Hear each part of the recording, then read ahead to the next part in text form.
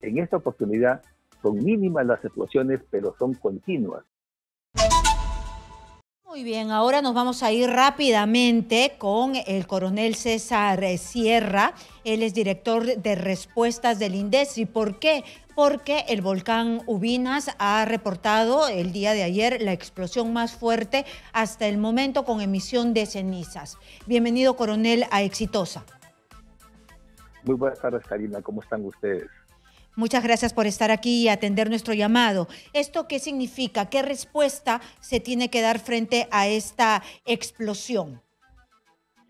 Bueno, desde el día 4 de julio eh, que se activó el volcán Ubinas, eh, se han presentado una serie de explosiones y hasta ahora 40 ¿no? explosiones que tenemos ahora, lo que obligó y determinaron que las autoridades eleven a una emergencia de color naranja que significa que en cualquier momento de activarse con mayor intensidad debemos evacuar a la población. Sin embargo, se han tomado acciones ya este, eh, con personal de INDECI estando presente en la zona para poder principalmente sensibilizar a la población, explicarles qué es lo que está pasando y evitar pues los daños físicos, principalmente cuidando la vida de la población, la salud de la población, sus medios de vida eh, toda vez que ellos se, dedican a lo agropecuario, ¿no? Entonces, este, estas explosiones que ha habido el día de ayer es un, es un continuo de diferentes explosiones. El día de ayer en la mañana y, al mediodía eh, eh, emitieron, emitió gases que son tóxicos,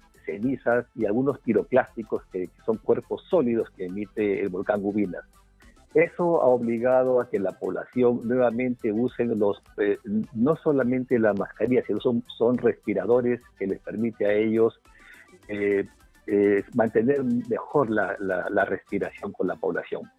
nosotros vamos a estar atentos, principalmente tenemos los, planes este, operativos para poder accionar tanto desde Arequipa y desde Moquegua, para que la población pueda estar en continuo. Sin embargo, eh, ya también la población tiene conocimiento de los diferentes albergues que tienen este, eh, donde poder evacuarse, ¿no? Tenemos en Chacalaque, Ucacancha, Zancaya y el albergue de Siraguaya, ¿no? Están previstos listos para que la población, en caso de que se eleve de una eh, de naranja y se intensifique, ellos puedan desplazarse al lugar donde ya podemos tener todas las comodidades de techo, abrigo, alimentos y servicios a la población. ¿Cuánto tiempo puede estar así el volcán Ubinas? Porque usted me dice que esto viene desde el 4 de julio y todavía no se detiene, ¿no? ¿Por cuánto tiempo podría estar así en explosiones seguidas? 40 ya van un volcán.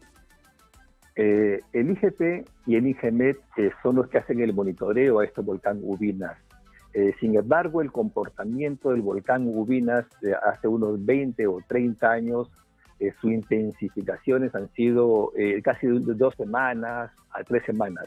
En esta oportunidad son mínimas las explosiones, pero son continuas y, están siendo, siendo alargadas. Eso es lo que hace que nosotros tomemos acción permanentemente y constantemente y no podemos bajar la guardia.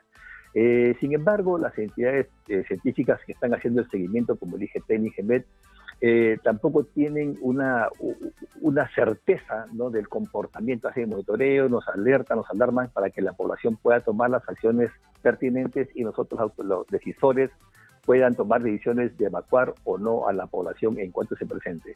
Eh, eh, las imágenes que nos emiten y los reportes obedecen a que nosotros podamos tener ciertos protocolos y procedimientos para poder atender a la población. Es decir, es la primera vez que se extiende por tanto tiempo este, esta etapa de explosiones.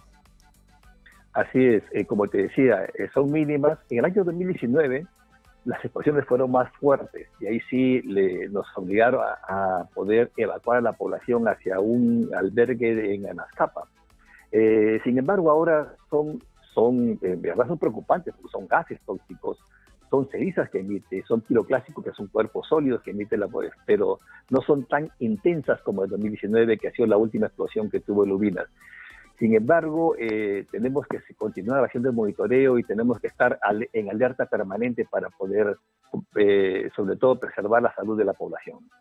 Y existen algunas poblaciones que están digamos, en una erupción donde ya este, se pone en riesgo total a, a los seres humanos, donde ya se bota lava el, el, volcán, en su camino de esta lava, eh, ¿hay, ¿hay poblaciones asentadas?